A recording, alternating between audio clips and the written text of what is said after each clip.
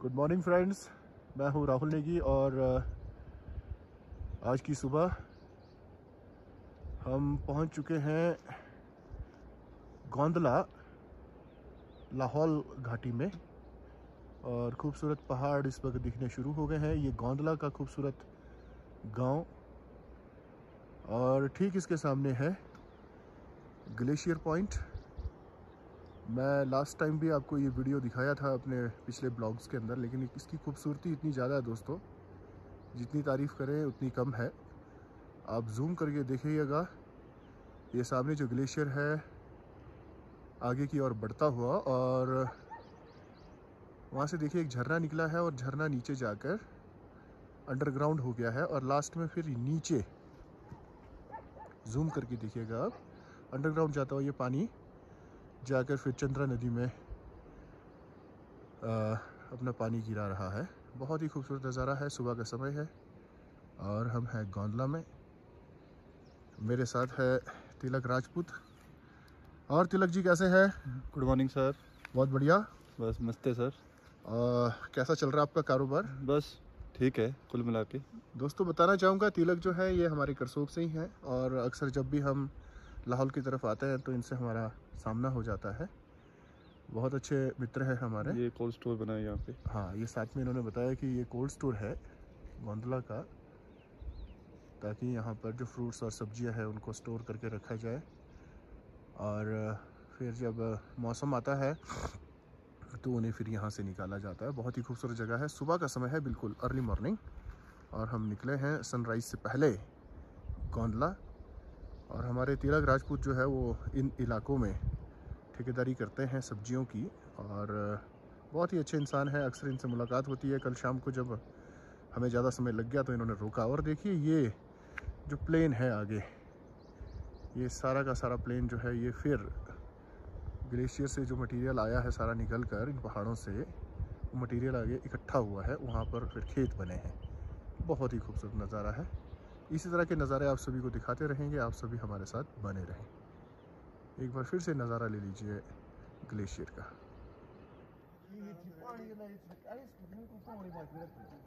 बहुत ही शानदार खेती होती है यहाँ पे। और खूबसूरत नज़ारा। अब हमारी अगली मूवमेंट है यहाँ से सीधा ले, गोंदला टू ले, लगभग 400 किलोमीटर निकलेंगे। ये हमारी टीम है आगे। घनश्याम भारद्वाज, रमेश कुमार और पुनीत सरकार।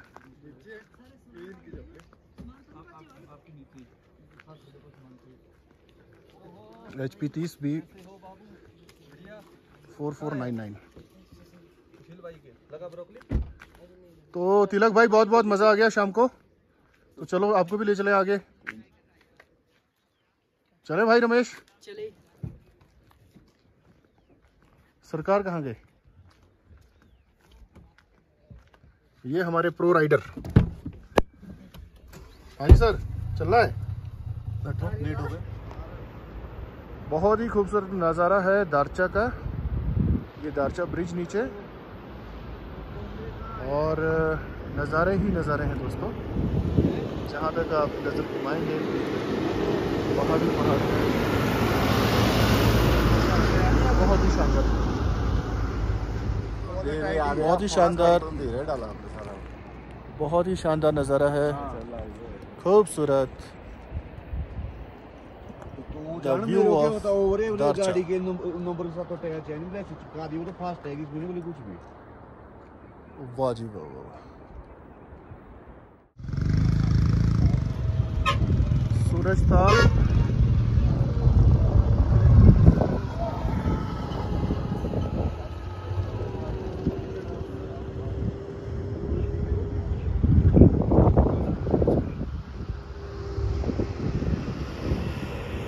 थ्री सिक्सटी व्यू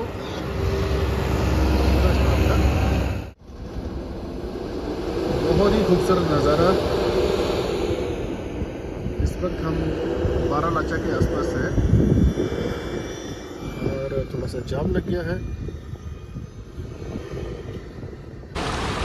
दोस्तों, भारी जाम का सामना करना पड़ रहा है और वाटर क्रॉसिंग है, बहुत ही शानदार। मज़ा आ गया मतलब।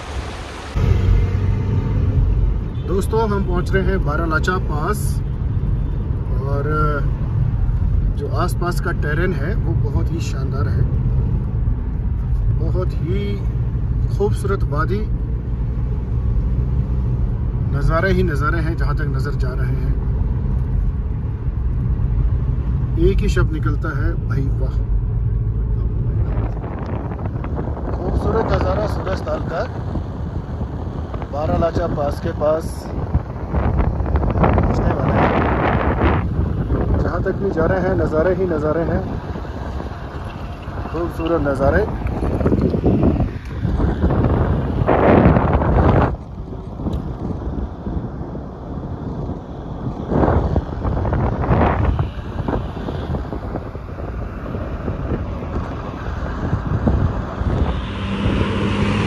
दोस्तों हम हैं सूरज ताल के पास बारालाचा बहुत ही खूबसूरत नज़ारा है। 360 व्यू आपको देखिए।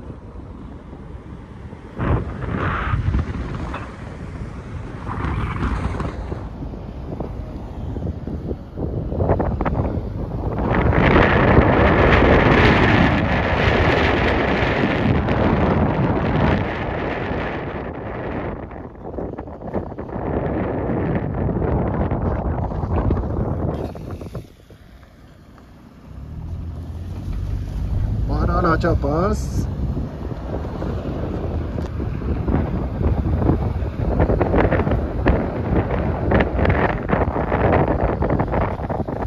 जुलाई के महीने में ऐसे मौसम का मज़ा ही कुछ हो रहा है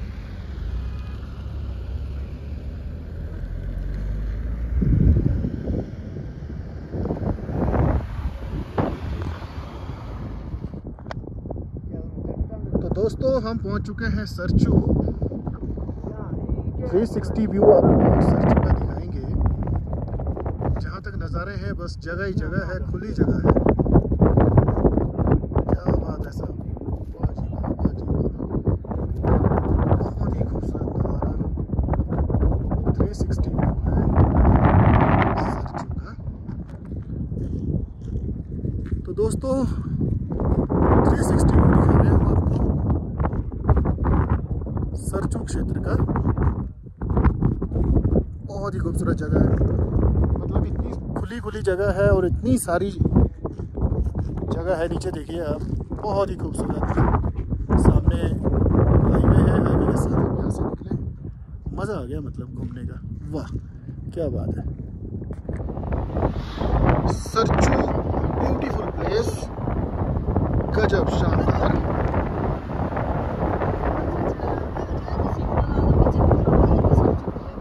दोस्तों, हम पहुँचे हैं सरचू, और ये बॉर्डर है, हिमाचल और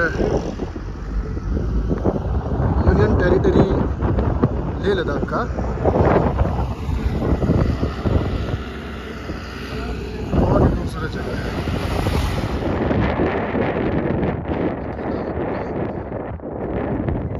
पंद्रह हज़ार पाँच सौ सैंतालीस फीट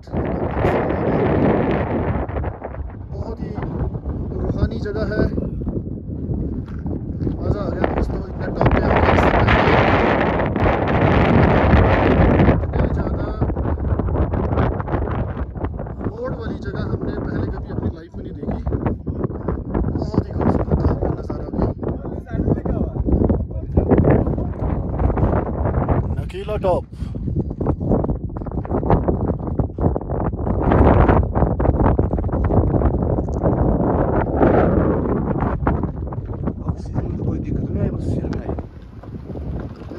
आज के दिन एक बहुत खूबसूरत नज़ारा हमें देखने को मिल रहा है। हम पहुँच रहे हैं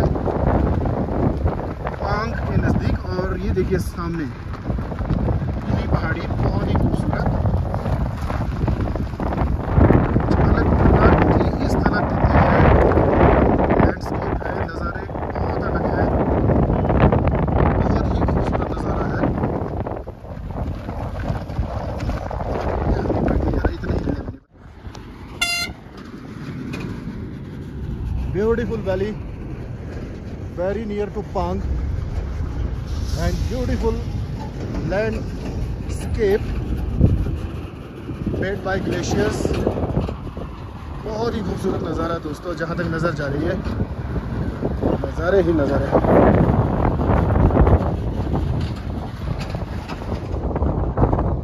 बहुत ही खूबसूरत नज़ारा है जहाँ तक नज़र जा रही है वाह जी, वाह जी, वाह। और ऐसा अब है पूरा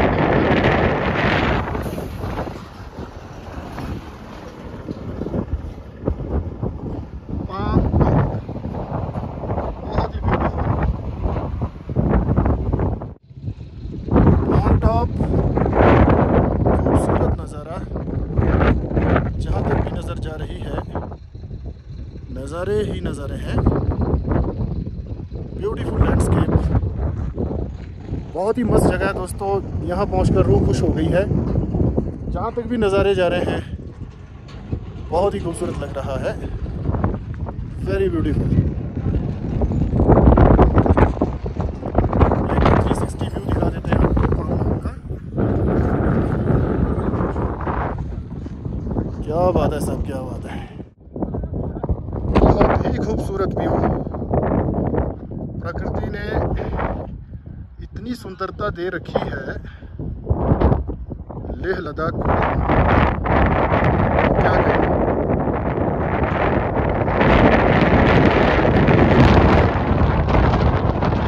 जहाँ तक नज़र जा रही है वहाँ तक देखते जाइए खूबसूरती ही खूबसूरती है पांग टॉप दोस्तों हम हैं टांगलंग ला में बहुत ही खूबसूरत जगह है पांग से आए हैं लेह की तरफ़ निकल रहे हैं सतारह हज़ार चार सौ बयासी feet twelfth highest pass of the world बारहवा सबसे ऊँचा पास है पूरी दुनिया में तंगलंगला टॉप और यहाँ से अब हम निकलेंगे ले को। बहुत ही प्यारी है। नज़ारा है तंगलंगला पास का। ये सामने है तंगलंगला पास। दुनिया की बारहवीं सबसे ऊँची पास है ये। अब हम यहाँ से सीधा निकल रहे हैं ले के लिए।